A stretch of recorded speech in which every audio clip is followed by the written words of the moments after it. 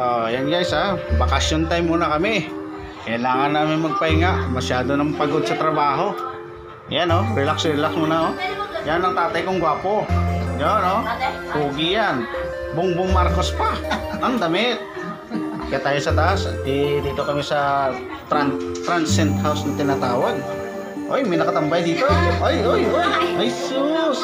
May nakatambay pala dito. Ang Ganda ang higaan nyo dyan ah. Pasilip, pasilip.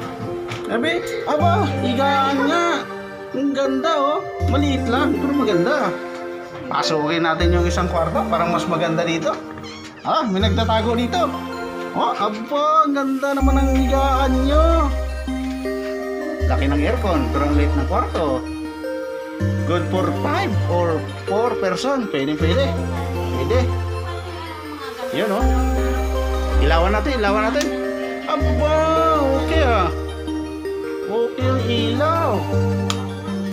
Tayo na natin. Labas na tayo dito. Aba, nandito pala sila nakatambay sa kusina oh. Ayun oh. Pa tayo dito sa kusina. Ang lawak ng kusina nila eh. Yun oh.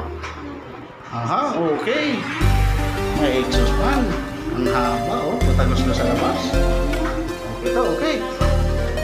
Natin si nila kung maganda ba. Comfort room.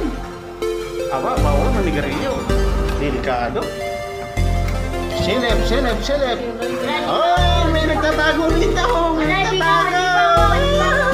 Magtatago. Yan na nga, magtatago. Mama, maganda mo lang yung labaho nila, oh. Hmm, It's Ligo time. Oh, Ligo. Sige, sarap na. Ligo ka na. Oh. Magaganda yung masabi dito. oh. Kayo rin guys, punta kayo dito sa Tagaytay.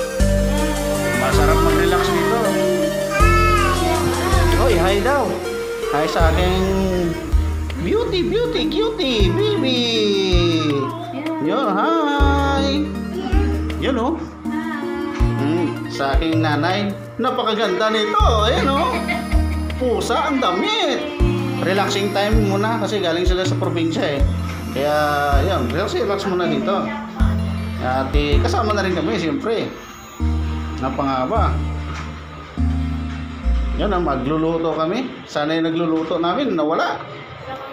Hanahanapin ko muna kung saan ang nagluto. Sa inyo. Aba, mukhang okay yan ah. Yan oh.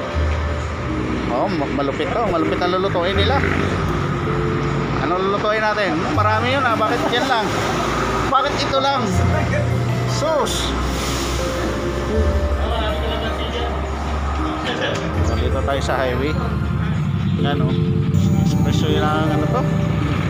Ang Tagaytay na. Marami naman masyal dito. Kasi maganda yung tanawin. Ayan o. Kaya kung gusto mo bumili, ito, mayroong kantin dito.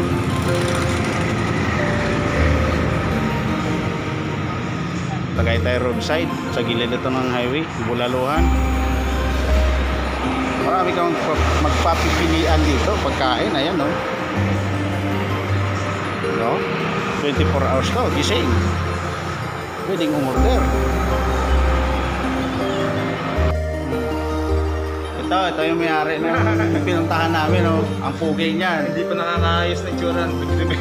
Pero pag kila- kailangan mo, abay, kontakin nyo lang. Magaganda yung bahay niya rito. As a low price only. At si tatay, yan. Yan yung kanyang father.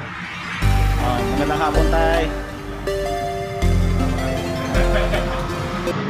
喂